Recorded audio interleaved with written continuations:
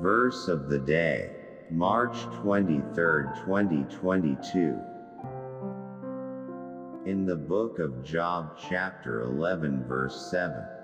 Can you search out the deep things of God? Can you find out the limits of the Almighty?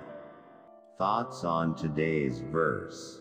But what God asks of every one of His children would be that we trust Him completely, walk humbly before Him, rely entirely on Him, and willingly submit to His leading and guiding even when we don't understand the reason for the difficulties that surround us or the circumstances that seem destined to overwhelm our soul for who can fathom the depths of God's wisdom or measure the limits of His power.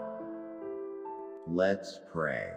Father, forgive me for my harsh complaints, haughty thoughts, and criticism of others but especially for my lack of knowledge of your tremendous might and unfathomable wisdom, Heavenly Father. I ask that you would enlighten my spiritual eyes of insight so that I may know you better and love you more. In Jesus' name, Amen.